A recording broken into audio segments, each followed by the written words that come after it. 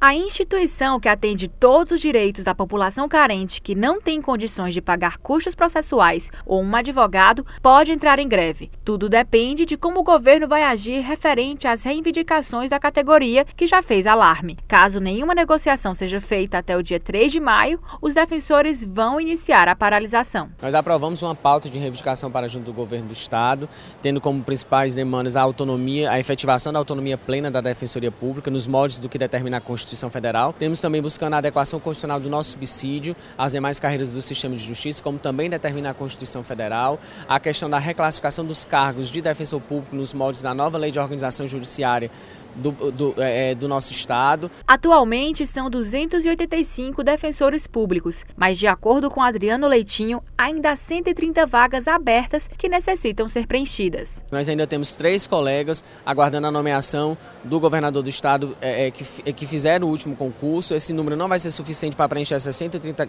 30 vagos, é, cargos vagos.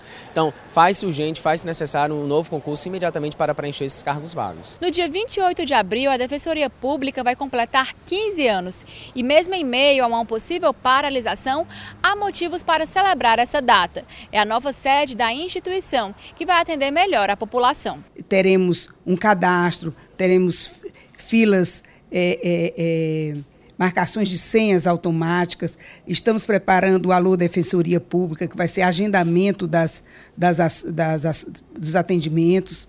E o número de defensores, por certo, deverá ser aumentado em breve. A defensora explica que a maior procura na defensoria é por pensão alimentícia, mas que há atendimentos de outros segmentos também. Nós estamos vendo todo dia com alegria crescer essas demandas, tanto em número de procura, como em complexidade dessas ações. Erilene Bernardino, de 25 anos, tem dois filhos, um ainda de colo. Ela procurou a defensoria para garantir o direito que ela tem de receber pensão alimentícia do ex-marido e está esperançosa de que vai conseguir. É o direito das crianças, né? Não, não tem querer.